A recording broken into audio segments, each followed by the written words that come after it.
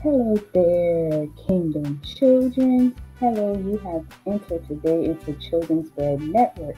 It is me, Miss Kentia, and I am back today to give you another lesson. And today's lesson is going to be on Kingdom Warriors because I'm going to show you how you are a warrior in the kingdom of God. We are all in a battle. But before I get into that, I just want to introduce to you everything that is going on within this ministry at the current times. I'm not going to make this very long and drawn out, but let's just get straight into it. So, if you don't know that right now, Freedom in Christ freedominchristdm.com, Deliverance Ministries, which is this ministry, this part is just the children's division. We offer personal care products and food to children in the Charleston, South Carolina area. If you or anyone is in need of these things, please contact me. Also, tutoring services. We are offering tutoring services throughout the summer. If you were struggling in any areas while you were in school this year and you need extra help, you can contact me the same way, the freedominchristdm.com forward slash contact. Listen, this is an awesome service for you guys because guess what? It is free. It is covered through this ministry.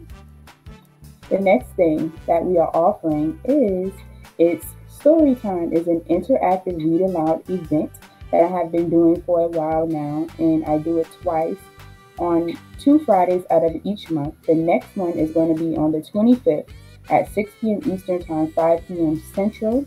All you have to do for this is also go to freedominchristdm.com forward slash projects and you will see down there where you can go ahead and sign up. I do it on Zoom so that it can be a safe place for you guys to come and, and we can have interaction with one another. And it's just not you looking at me reading, but we can actually talk and discuss things. Okay, guys? So, lastly, let me go ahead and show you my latest book. It is the only children's book that I have currently called I Hear God. God Speaks to Children Too. You can purchase this book right now on Amazon.com or Walmart.com. And I recommend it for ages birth to 10 years of age. So if you are any other age range, you can purchase it. Purchase it for any family members. Purchase it for, you know, if you work at a daycare or any place that you, you know, feel fit that this book can encourage the children to hear the voice of God and to follow Him. So, guys, let's get straight into the intro. And I hope that you enjoy it.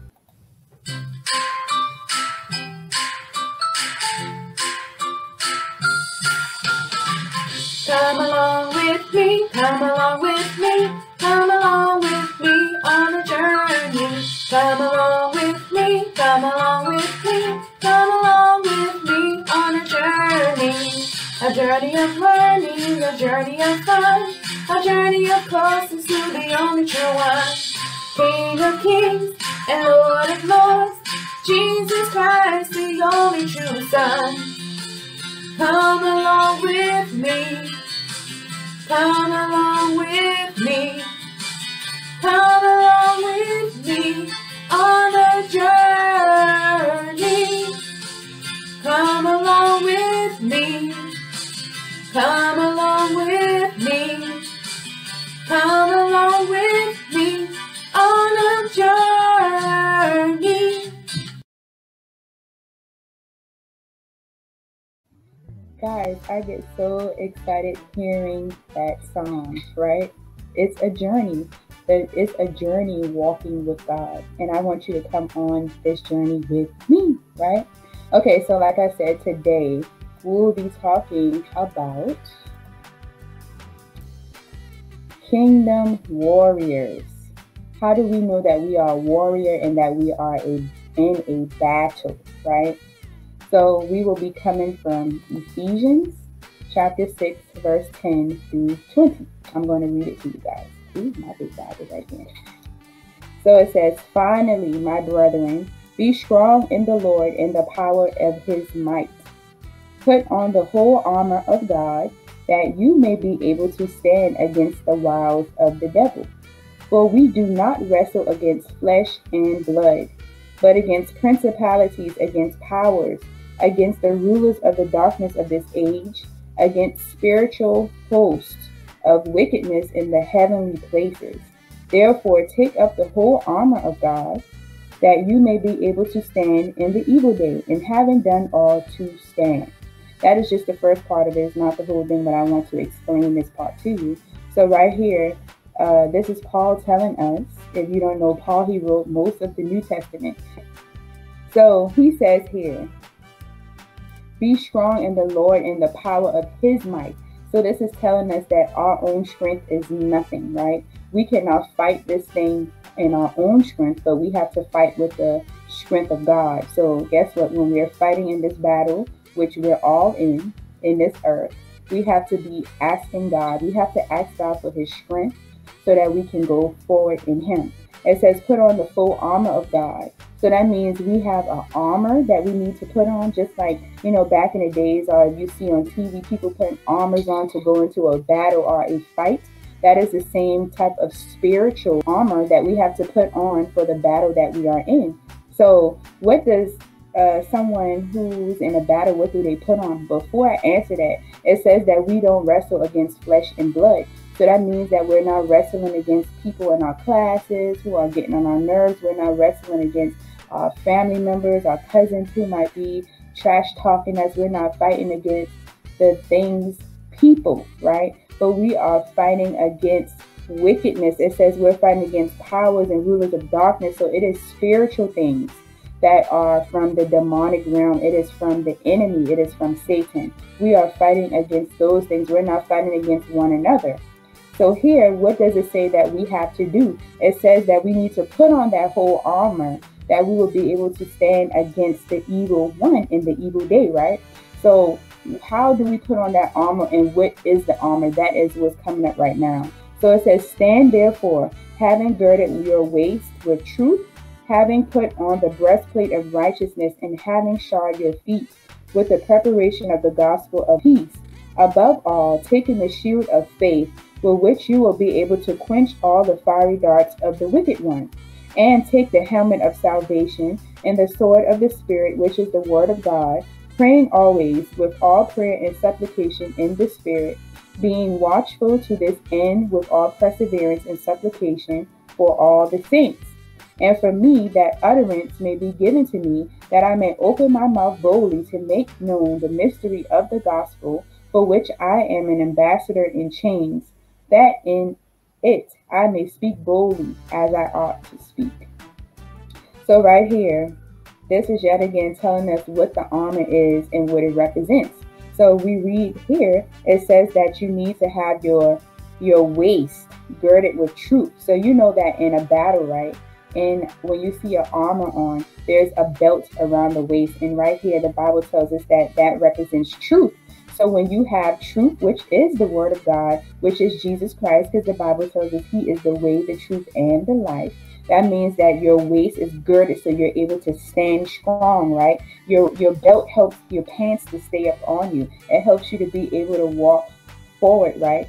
So that is your your your, your belt holds up your pants. So now you're able to walk, right? It has to do with your walk, walk in truth, which is Jesus Christ. So now it says, having put on the breastplate of righteousness. The breastplate, that is the big thing that you will see across the shoulders of those in, you know, a war or whatever you will see that across them. And what is it to protect their chest? It's to protect their heart. God wants to protect your heart, right? Because guess what? What does the Bible say about the heart? It says, only the pure in heart shall see the Lord. So it helps to guard against anything that may be coming to penetrate into your heart that is not of God, right? The enemy may be trying to bring things and, you know, bring hurt and pain to you. And, you know, so now the breastplate of righteousness is guarding that, right, from your heart. So the next part says, and having shod your feet with the preparation of the gospel of peace. So now your feet has shoes on, right? Now your feet is prepared to go out and spread the gospel of Jesus Christ as you walk forward. Your feet is ready and prepared to spread the gospel of Jesus Christ. And it says, above all, taking the shield of faith, which with which you will be able to quench all the fiery darts of the wicked one. So your shield, you know, you you see those people in battle, they have their shields and they're holding it up, and that is saying that everything that comes to you, you will block it. It will be blocked. Everything that the enemy throws at you, every lie that he spews at you and tells you that you're, you're not worth it, that you're nobody. Guess what? That faith, that shield that you have, it represents faith. So it will quench. That means it will wipe away every fiery dart that comes from the enemy, every dart that he is throwing at you. You can say, No, I have faith in God, and you keep your faith in Jesus Christ and not the things that are coming at you. The next thing says, And take the helmet of salvation and the sword of the Spirit. Okay, the helmet of salvation. So when you have the helmet on, what is it protecting? It's protecting your head, right? Which is your mind. So now, guess what? God want, has this helmet over your head to protect your mind. And what does the Bible say about the things that the enemy do? It says he can try to bring strongholds in your mind. So now you don't have to accept those things in your mind that the enemy is bringing because it's guarded and shielded with the helmet of salvation. When you accepted Jesus as Lord and Savior, you now have that helmet upon your head. And the sword of the Spirit, which is the word of God. So now the sword, when you read this Bible right here, this is the word of God. This is the sword. So now you have this holding up. And every time you speak the word of God, it is cutting, it is ripping, it is tearing down everything that is not from God, right? And then if we keep going on, it says, praying always with all prayer and supplication in the spirit. I already taught you guys about speaking in tongues, and I even prayed for you guys in previous videos for you guys to receive the infilling of the Holy Spirit with the evidence of speaking in tongues. If I can find that video, I will put it down in the description so that you can go back and watch that video because even though you're young, you can still pray in tongues, which is the perfect will of the Father, right? So it says, being watchful to this end with all perseverance and supplication for all saints. So we are to be praying for one another. We are to be persevering means to endure and to go through whatever it is that we have to go through. And it also says, and for me, that utterance may be given to me, that I may open my mouth boldly to make known the mystery of the gospel, for which I am an ambassador in chains. You are an ambassador. That means you speak for Christ. Right here, he said, Don't let anything muzzle your mouth, but you continue to go forward in this earth. You, as a young child, go forward in the earth and speak what is God saying. What does this Bible say? And don't back down and don't compromise, meaning come conform or do the things that you see that's happening in the world, but do as God says, as He as He commands us, right? And it says that in it I may speak boldly as I ought to speak. Only speak boldly for the Lord. Speak boldly for your Father who created you. That is what He is requiring of you. So, guys, I'm not going to make this video any longer because I see it's, you know, pretty long and I want to make these very quick. So I hope that you enjoyed your lesson today and you see that you are a kingdom warrior. You are in this battle, and I want you to learn how to put on your spiritual armor so that you will be able to stand in this evil day. So, guys, I will see you in the next video. Goodbye.